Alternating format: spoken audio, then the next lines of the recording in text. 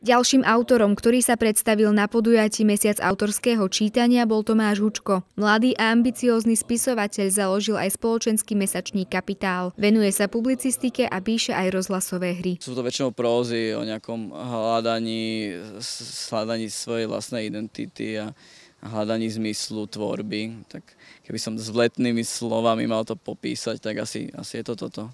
Prekladá mnoho zahraničných diel, niektoré dokonca vychádzajú na Slovensku prvýkrát v jeho preklade. Preložil aj známy komiks Maus, ktorý mapuje druhú svetovú vojnu a osudy Židov počas nej.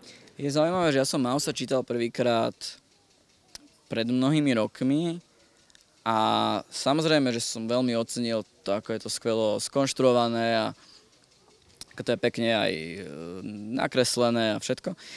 A, ale nedotklo sa ma to tak silno emocionálne. A teraz po nejakých, neviem, desiatich rokoch, keď som to prekladal, tak som sa niekoľkokrát rozreval pri niekoľkých scénach.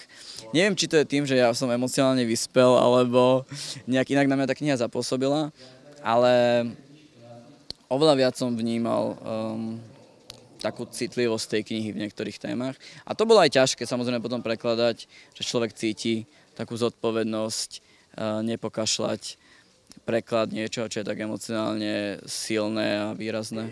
Je autorom novely Šakona a ako sám prezradil, zdrojom jeho inšpirácie je najmä utrpenie. Verím tomu, že naozaj, keď človek, do človeka sa niečo zapíše hlboko, tak potom má z čoho z tej hĺbky môže čerpať a väčšinou sa do nás zapisujú hlbšie tie, tie, tie horšie veci. Aspoň ja mám pocit, že si ich dlhšie pamätáme a majú na nás taký akože silnejší dopad. Mám pocit, že keby som bol šťastnejší človek v živote, tak, eh, tak možno netvorím. Tak eh, možno eh, tuto namiesto toho v parku s veľkou radosťou sa hrám so svojimi deťmi, ale nie je to tak. Počas druhej polovice mesiaca autorského čítania sú pripravené ešte ďalšie zaujímavé čítania. Pretelke Lucia Gurská.